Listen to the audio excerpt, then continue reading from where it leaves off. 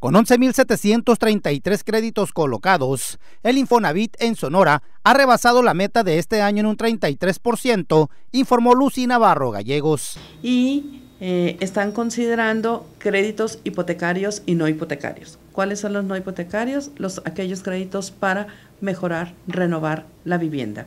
La subdelegada del Instituto de la Vivienda en la región indicó que en el caso de Cajeme, que cubre el área de municipio del sur del estado, se han colocado 2.815 créditos hipotecarios. Hay una cantidad eh, similar o un poco más alta eh, de 2.800 en créditos no hipotecarios como los de Mejoravit.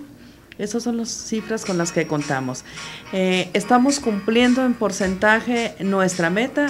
Hemos rebasado con un 33% la meta que tenemos este, definida para esta colocación.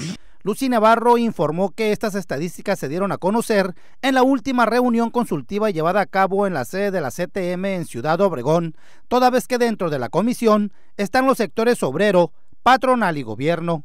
Con imágenes y edición de Edgardo Félix para las noticias, Marco Antonio Palma.